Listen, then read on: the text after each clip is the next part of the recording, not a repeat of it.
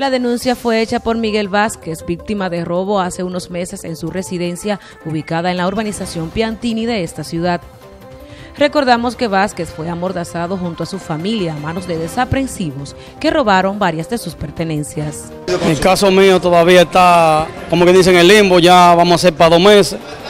El nombre todavía no hay nadie detenido, en el caso mío no hay detenido, pero entonces veo que de magistrado ya en horas red, con menos de dos días, ya están los presos ahí, lo que hicieron el hecho. Entonces tiene que ser para todos la justicia, porque somos ciudadanos. Yo me alegro que hayan agarrado a esos delincuentes, pero por lo menos que de los míos, que cojan también, porque ya hace dos meses de eso y todavía no, no resuelto ese problema. Y sabemos quiénes son, y ellos saben quiénes son y no, no logran apresarlo.